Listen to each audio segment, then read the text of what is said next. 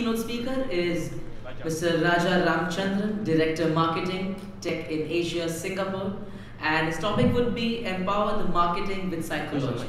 15 years of progressive marketing experience with the growth hacking mindset, strategic and hands-on in the development and execution of ROMI-driven multi-channel marketing campaigns for lead and demand generation. Experienced in B2B and B2C across different industries, from startup to MNC.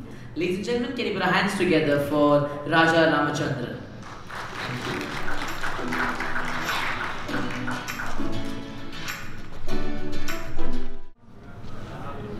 Glad to see you all today.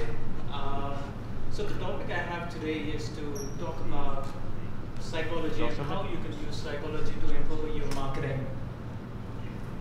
So, uh, so my whole agenda today is to kind of scratch the surface to to uh, make you all understand what is the potential of psychology when it comes to marketing, and uh, to encourage you to uh, you know, uh, consider using psychology when it comes to marketing.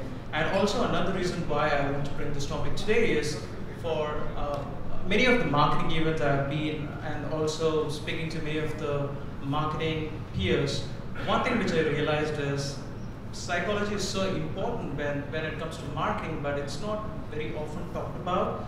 And uh, you know, it's so critical that I do not know why we kind of like oversee most of the time because it's always data, it's always technology is what we are more interested about, but it's not the human factor, which is psychology. One of the reasons why I want to talk to you today about this, and uh, and also as a marketer, I've been in the industry for so many years.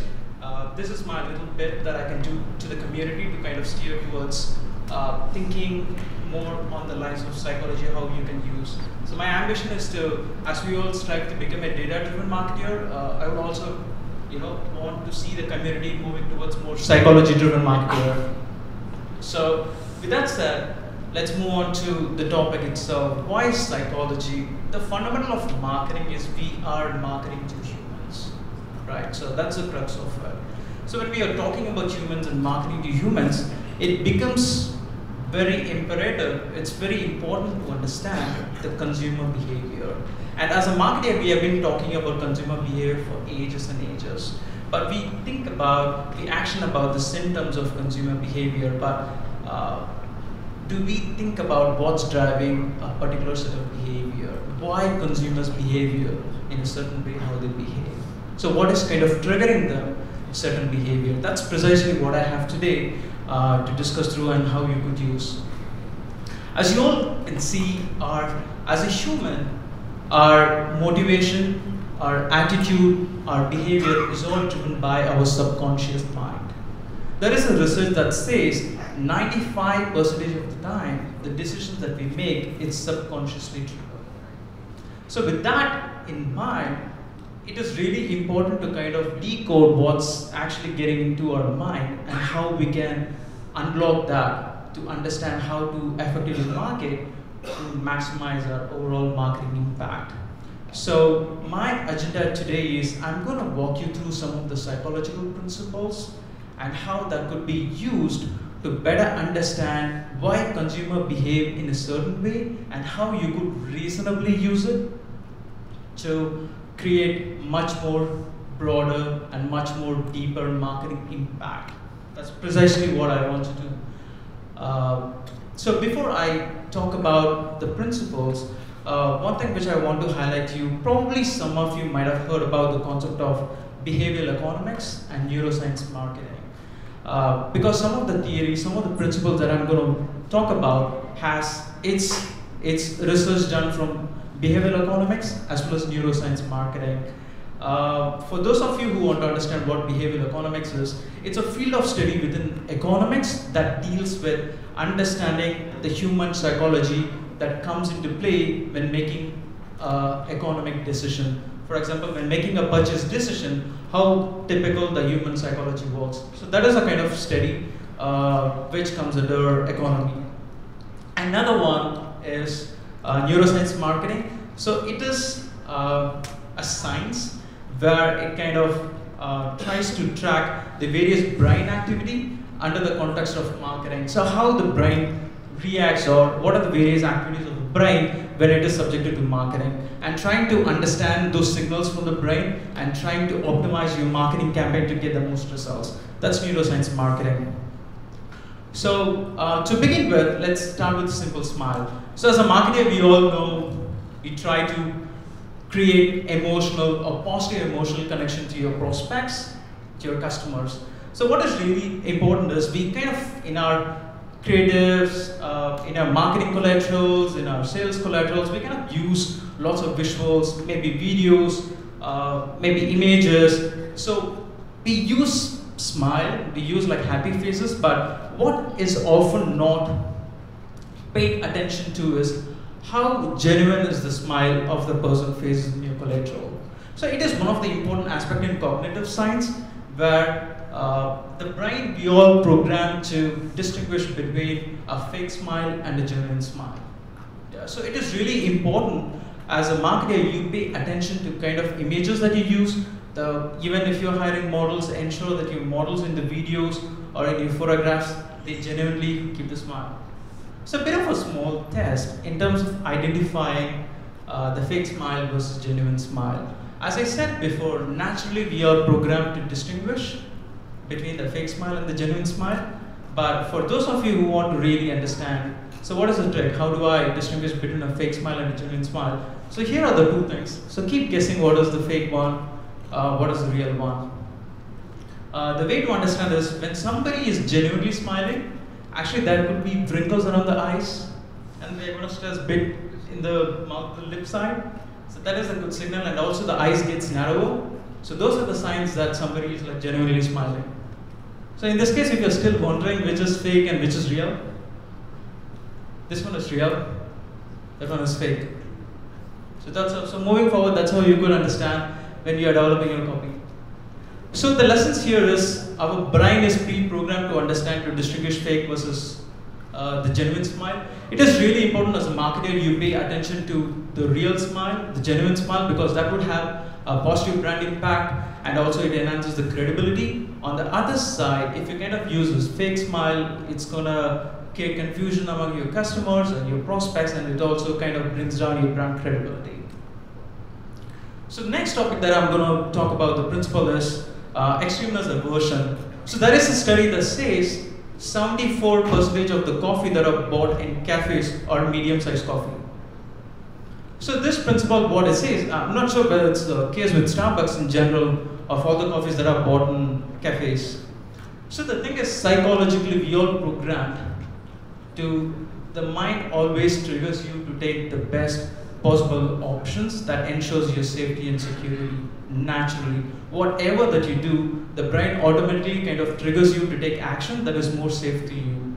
As a result, what happens is when you when the users are provided with options, we always going to intuitively avoid the options which are extreme. So in this case, the user is going to naturally, intuitively going to avoid the ones that are on the extreme. The reason is, as a mind, it always looks at the relative size, not the absolute size. In the sense, if you're starting from the left over there, it's going to compare the next one. So kind of understands that relatively this is bigger. And then it's going to reference this one. And then it's going to see okay relatively that's smaller. But if you look at this one this extreme and that extreme they are kind of polarized. There's nothing to refer. So naturally the mind going to omit. So that is a kind of the principle of cognitive science that says extreme uh, aversion is the one by which uh, humans are programmed naturally omit the extreme things so you could be asking so what does it mean me as a marketer. So many use cases for this one. What you can do is, if you are running an e-commerce site or you are a product or you are a business, what you can do is you can place your best product in the middle, at the center, because naturally humans going to take a middle ground. So you can place the best product at the middle, or if you have a high value product, you can center it uh, in the middle. So you can be assured that most of the people going to uh, be looking at the the center option. And the extreme options, most likely they are going to leave. And also another lesson that you can take from here would be always try to have more than two to three options. So ideally you could have somewhere between three to four options, when you are uh, when you have uh, a product or services. So at least user would have like uh, many things to select from. So here, um, one thing I want to stress again is the brain intuitively avoids the extreme thing, and also relative size matters. It's not the absolute size. That's what the brain understands, and always have multiple choices for your customers. Optimally, it's three, but you could have like more than four. One of the reasons why I have only three bullet points on all my key takeaway. That's how the brain works. The next one I'm going to talk about the principle is scarcity and popularity. I think it's one of the most widely used principle when it comes to marketing professional. This is like pretty popular. Uh, we all know fear of missing out, FOMO that we popularly call. But there are certain nuances when you have to use it. It's not like blind rule that you can apply for everything that you want to market. You have to clearly understand when to use what. For example, scarcity. When we talk about a demand side scarcity or supply, sca supply side scarcity, such as limited quantity or limited edition or limited time, so those would fall under scarcity. On the other hand, the popularity theory, so what it means is uh, bestseller or almost sold out. So those kind of thing that falls under popularity. So now we talk about psychology. What happens when it comes to psychology? As a human, we all wanted to kind of have some kind of uniqueness when compared to others. So with that kind of psychology, with that kind of mindset, what we naturally do is when it comes to buying for our own self, we always kind of look something which gonna be unique. That kind of helps us stand out from others. So for those kind of people, this kind of scarcity principle in your marketing or in your message positioning would be more appealing. And when it comes to popularity, the psychology there is when you're buying for others, there is something called as consumption risk. You won't want to take any risk when you're buying for others. So in that case, you're not going to try something new when you want to give somebody. So you're going to go with a product or service that has a social validation, uh, something that people already buy and choose. For example, uh, if you're running an e-commerce site, uh, you know you know that so many people buy gifts on your site. Maybe you can position your product more on top sellers or best sellers or almost sold out. So that is the kind of use case you can use from this kind of psychology principle. So uh, another uh, example I would say is when it comes to like limited time. So as I mentioned, if you're buying for yourself, mainly for self uh, self expression kind of product like fashion or apparel, using limited time would do very well, or scarcity principle will do very well.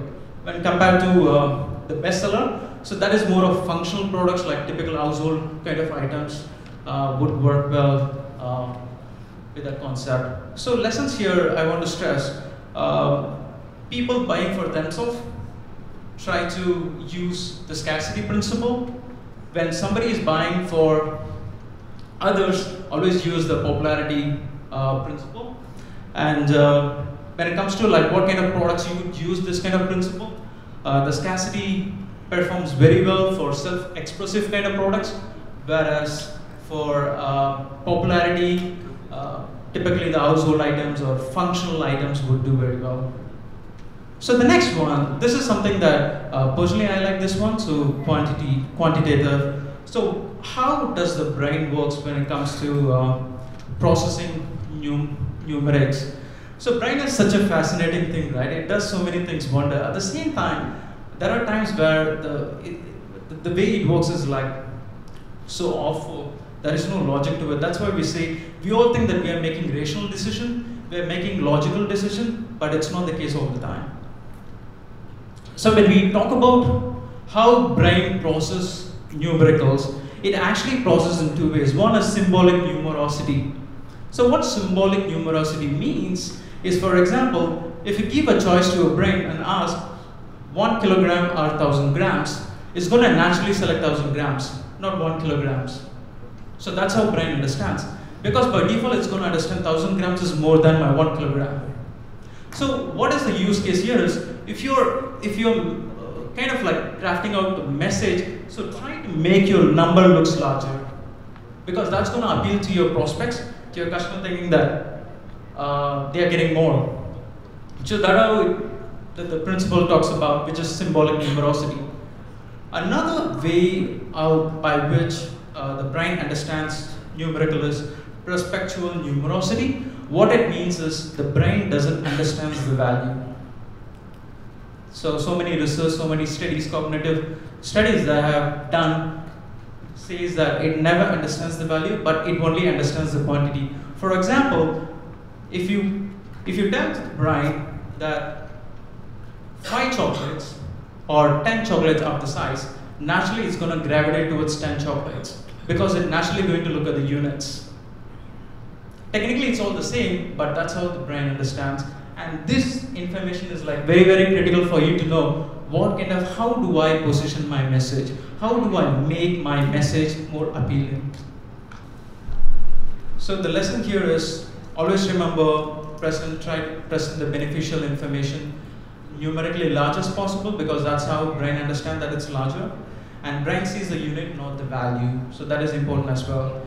And uh, when it comes to like presenting numerical values to, to uh, in your message, ensure that it's very simple and straightforward for the brain to understand. So if you kind of make it very complex, it's going to use lots of energy for the brain to decode. Uh, your message may not get through to your customers. That's something that you have to keep in mind.